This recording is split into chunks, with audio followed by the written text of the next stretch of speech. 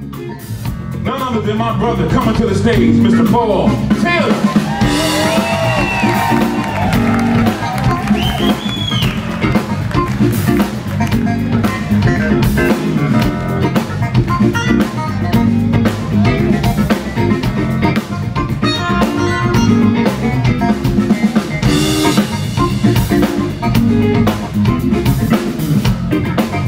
God, what's going on tonight?